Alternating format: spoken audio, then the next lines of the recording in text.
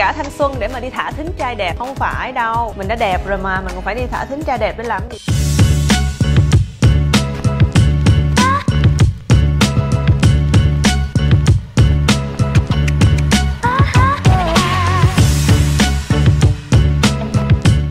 Mới làm xong mặt bên đây nữa nè. Dạ.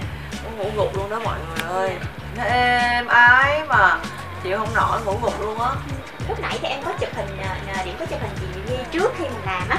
Bây Dạ. giờ thì mình cùng so sánh cái hình ảnh của mình trước. Và sau khi làm nè mọi người để ý về cái hình ha. Thì à, Nhi Nhi thấy không? Thấy cái sự khác biệt ha mọi người để ý về cái nhất là cái rãnh này Nhi ha.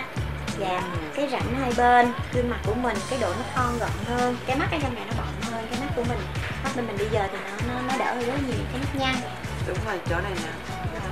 Hay quá ha ghê quá à, chị ám ảnh em luôn em nhìn em em còn ám ảnh nữa. Dạ da mình thì nó căng hơn đó chị chị có để ý là cái da đúng nó rồi căng hơn. chị căng hơn cảm ơn chị à, chị Nhi rất là nhiều ngày hôm nay đã chia sẻ rất là chân tình. Trời, đẹp gái. Bye bye mọi dạ, chào người. Chị.